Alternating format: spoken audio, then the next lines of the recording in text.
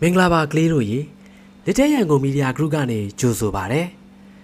ဒီတစ်ခါတင်ဆက်ပေးမှာကတော့ပျော်ရွှင်စရာမျက်လှည့်ကဘာဆိုတဲ့အစီအစဉ်လေးပဲဖြစ်ပါတယ်ဒီအစီအစဉ်လေးတွေကအတိုင်းလက်တွေ့လှုပ်ဆောင်ကြည့်မယ်ဆိုရင်တော့ကလေးတို့ရဲ့အုတ်ထင်းသူလူကြီးမိဘတွေကိုခွင့်တောင်းဖို့တော့လိုမယ်နော်ဗီဒီယိုလေးမကြည့်ရှုခင်လက်တဲ့ရန်ကုန်မီဒီယာ group channel လေးကို subscribe လုပ်ထားပေးကြပါအောင်လို့တောင်းဆိုချင်ပါတယ်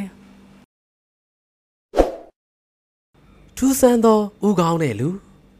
ဒီလက်ကွက်ကကလေးတို့ရဲ့တငယ်ချင်းတွေကိုအံ့အားသင့်သွားစေနိုင်တယ်လိုအပ်တဲ့ပစ္စည်းတွေကဇပွဲတစ်လုံးဇပွဲကင်းအဝတ်အကြီးတစ်ခုနှကန်းနီတော့မျက်ခုံးမွေးဆွဲခဲတံအဆင့်တဲ့သပင်တို့တို့ညှက်ထားတဲ့ကလေးတို့ရဲ့တငယ်ချင်းတစ်ယောက်ကိုခေါ်ပါပြီးတော့သူနှစ်ဖူးပေါ်မှာနှကန်းနီတော့သို့မဟုတ်မျက်ခုံးမွေးဆွဲခဲတံနဲ့ နှာခေါင်းနဲ့ပါးစပ်ကိုဆွဲပြပါပြီးရင်သူ့ကိုစပွဲအောက်ဝင်ခိုင်းပြီးလူမမြင်အောင်လုံလုံချုံချုံထားလိုက်ပေါ့အစ်စ်နဲ့ဒီပြောက်ွက်ကိုပြဖို့အချိန်ကြပြီလို့ကလေးတို့ထင်တဲ့အချိန်ကြရင်စပွဲအောက်ကတငယ်ချင်းဦးကောင်းကိုရုတ်တရက်တွန်းထိုးပြီးထွက်ခိုင်းလိုက်ပေါ့နှာခေါင်းနဲ့ပါးစပ်ကိုတော့ဖုံးထားရမယ်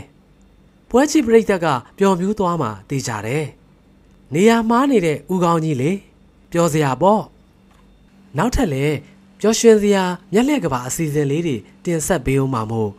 လက်တဲရန်ကုန်မီဒီယာ group channel လေးကို subscribe လုပ်ထားပေးကြပါအောင်လို့ထပ်မံတောင်းဆိုချင်ပါတယ်။